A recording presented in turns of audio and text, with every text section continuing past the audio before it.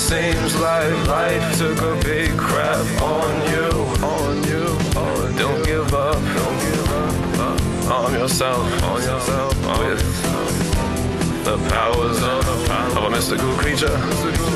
When you go to Albuquerque, ask 'em about the rat dog. Ask 'em about the rat dog. The mystical rat dog. Mystical rat dog. They all know about the rat dog.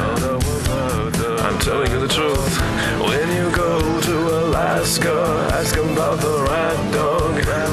And they will tell you about the rat dog. And they will tell you about the rat dog. And you know what they'll say? They'll say, first man on the moon was a rat dog. It's true. The end of civilization. The end of all civilization will be started by a rat dog. Rat dog. In the year 3030, there won't be no rat dogs. No rat dogs. So you better hide your rat dogs. Rat dogs. And you better say your rat dogs. Cause they're the future. Do you understand? If you really have a rat dog, you had better. Love it,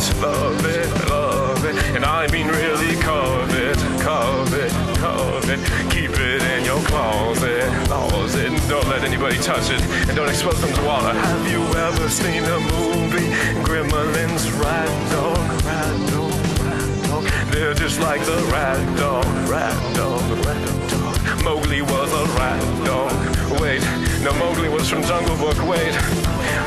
Once upon a time, I really saw a rat dog. I swear to you, I did. I really saw a rat dog. I think I did. I was high when I saw a rat dog. I probably didn't see one at all, but my greatest fantasy is to make love to a rat dog. I once made love. I made love to a rat dog. I think I did. I was high when I fucked a rat dog. I was high when I fucked a rat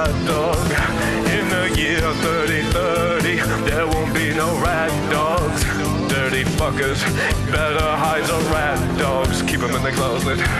And don't feed your rat dog. Cause they get bigger when they eat. Like critters.